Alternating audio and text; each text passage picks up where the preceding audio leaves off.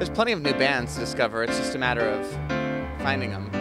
You never know when you're going to find the next MGMT. It could be right around the corner, literally. Oh, look, there's Grimes. What's up, everyone? It's Jeffrey from AccordingToG.com, the world's number one music blog. We're here in sunny Manhattan, about to go to stinky Brooklyn. We're about to hang out with one of our favorite new artists, Mac DeMarco. We're going to bring him a pumpkin. I'm really excited to meet Mac DeMarco. He's um, got a lot of buzz. Okay, I think we're here. Hey, I'm here for Mac DeMarco. I'm the world's number one blog. I'm Jeffrey from the number one blog, according to G.com. How's it going, everyone? This is for you. Let's carve it up. All right. Have you have you ever seen according to G.com before? Yeah. What's your favorite part of it? G spot. Have you ever met um, Jerry Seinfeld? Nope. I've hung out with him. How's he doing? He's good. Have you ever hung out with Gilbert Gottfried? Yeah, nah. I hung out with Gilbert Gottfried. Have you ever hung out with Surfer Blood? Uh, uh, no. I have.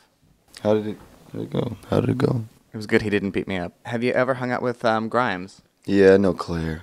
I know Claire too. I'll say, I'll say, what's up, Claire? How you doing, girl? Have you ever met James Mercer from uh, The Shins? No. I've met him. Do you know Wild Nothing? Yep. How do you know them? I know Jack. I know Jack. I know Jack. Do you know Karen O from the Yeah Yeah Yeahs? nah, man. I know her. She's cool. She chilling? She chilling. So the other day I was reading Pitchfork, the number two blog, and um, they were saying that uh, at one of the shows at CMJ you made out with someone in the audience. What's up, Schreiber? Is that true? Yeah. Is there any chance you'd make out with me? Yep. Awesome. You want a kiss? Yeah. There you have it. That wasn't making out. Those are soft lips. Oh, you little tongue? Nice. I haven't brushed my teeth today. I can tell. Just kidding. No, you could. You know I mean? You're a pretty good kisser. I got soft, soft lips. Is this the first boy you've ever kissed? Hell no. Damn. I like boys. Yeah?